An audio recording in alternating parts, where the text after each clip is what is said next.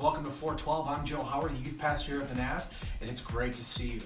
This week we're going to jump right into lesson two of our series More Than Red Letters as we discover how the Old and New Testament all point to Jesus. Now we're going to take a look back in the Old Testament. The prophets predict the coming of the Messiah and all that would accompany his arrival. Jesus had a firm grasp on these prophecies as well as the rest of Old Scripture, Old Testament Scripture. He referenced them.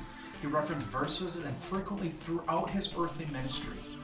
This lesson is going to help us appreciate how Jesus knew and loved Scripture and how he used the truth of the Old Testament to point people towards the truth about him.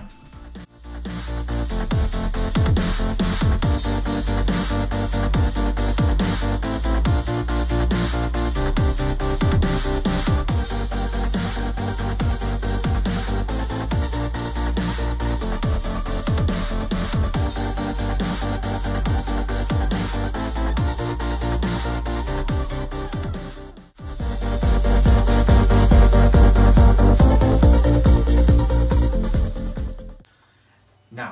it's important for us to understand the depth of Jesus' familiarity with the Old Testament.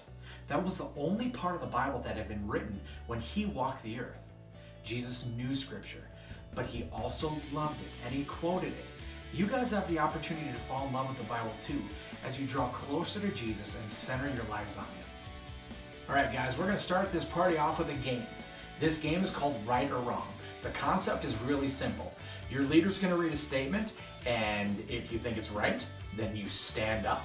And if you think the statement is wrong, you stay seated. It's actually pretty simple. So, after you guys go through, I think it's 10 or 11 uh, statements there, if you could take some time and answer the questions provided in your neat little packet. Have fun.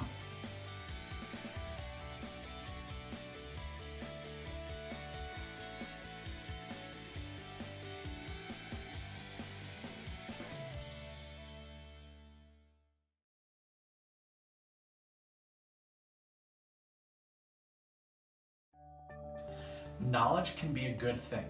It can help us know what is true, what is accurate and reliable. Knowledge of Scripture is good too because it can help us know more about Jesus and what it means to follow Him. And it turns out that Jesus knew Scripture well too, as we'll see in today's lesson. Now, today, when we talk about the way Jesus knew and used Scripture, we're talking about the Old Testament, the only part of the Bible that existed when Jesus walked the earth. Now let's see how Jesus pointed back to the Old Testament. We're going to spend some time as a group and read Luke 24, verses 13 through 34. And then if you would, answer those questions that you have in your packet.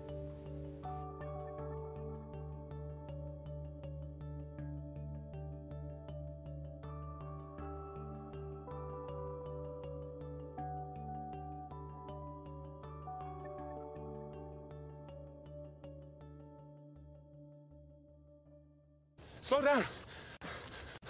Slow down. We're far enough from Jerusalem. We're just, we're just two pilgrims on the road.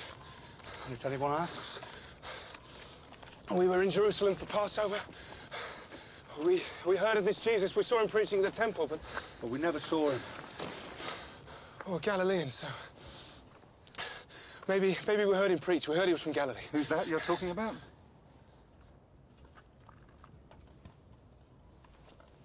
Jesus of Nazareth. What about him? He was some sort of teacher.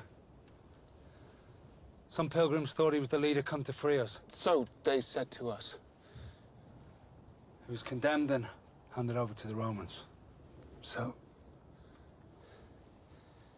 he was crucified, and now they said he's come back to life. You don't believe the scriptures? Why do you say this? Isaiah wrote that the Son of God will come to earth. He'll know human death at the hands of men.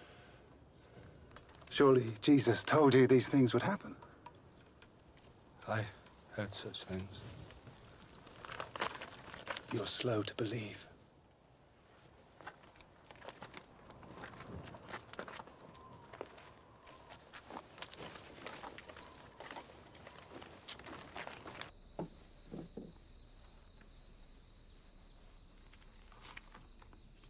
It is the bread of life.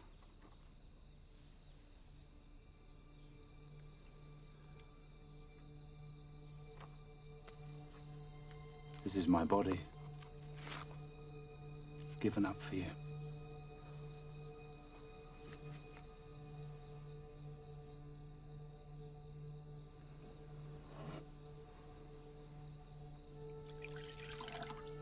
This is my blood poured out the healing of others.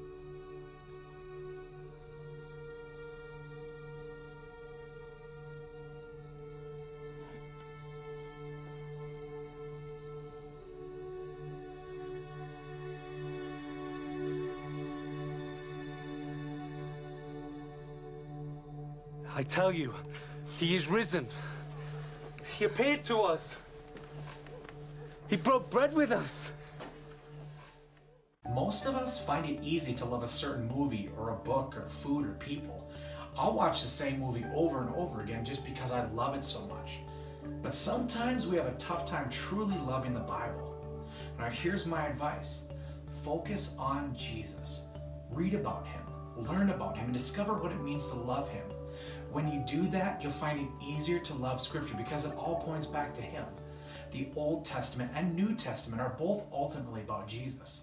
And when you realize how much you love him and what that means, you'll start wanting more of it. And like I go back and watch that movie over and over again. You'll start memorizing uh, the lines like I do with the movies. You'll start memorizing scripture and it'll become more and more important to you. Now we're going to take some time as a group to read Luke 4, verses 1 through 13. We're going to take some time to discuss the questions in your packet.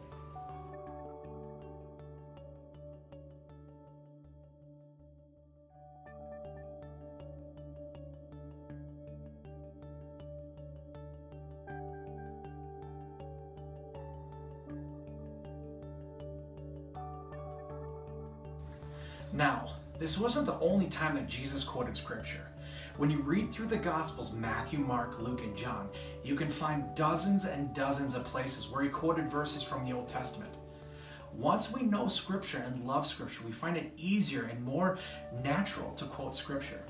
Sometimes we quote a specific verse that we've memorized, or times we quote a truth that we've learned. From reading and studying the Bible, you get knowledge and you learn, and it becomes more personal to you. God can only pull out what we put in. And what I mean by that is if we just fill our lives with movies and TVs and social media and stuff, God can't pull out his truths. But if we spend time in the Bible and with God, he will pull out those scriptures, those those truths when the moments we need them. Because as you look back and we just read about Luke, Satan uses scripture too, and we need to know it so we can pull out the truth and point it right back at his face.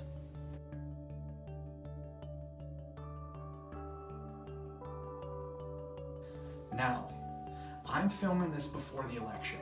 I have no idea right now what the results will be. But we will know by the time you guys are watching this what happened. And I want you guys to remember our hope is not in a man or a woman. Our hope, our promises, and our salvation lies only in the hands of the one who formed the universe, who gave us the very breath of life, the one who rises kings to power and takes them away. We need to put our faith and our trust in God, in His Son, and in His Spirit. Then Jesus took them through the writings of Moses and all the prophets, explaining from all the scriptures the things concerning Himself. Luke 24, verse 27. I want you to take time now to spend time in your group praying for one another, praying for your specific needs, your fears, maybe fear about the election, things that are going on in school. But also, leaders, if you could pray for a hunger for the scriptures to learn more about Jesus and any prayer requests that you guys have. Love you guys. Have a great night. God bless you.